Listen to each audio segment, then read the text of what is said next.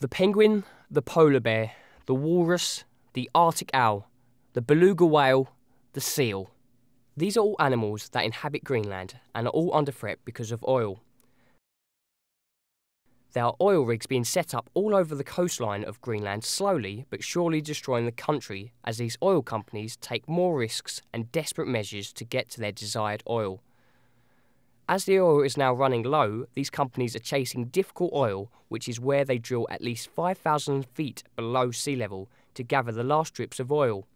This is very dangerous and can be very destructive if any accident were to occur.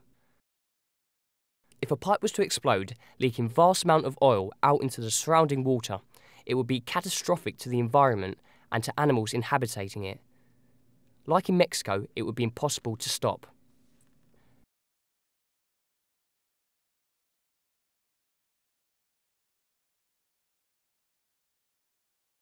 When this newfound oil is burnt, the gases released would heat up our atmosphere. This would raise our global temperature by 6 degrees, which would be disastrous to our climate, in particular the Arctic. We already have the ways and means to leave this prehistoric method behind. Let's move on to using our natural resources in wind, solar, and electrical energy sources. Here we can build on a brighter, healthier future. Go beyond oil.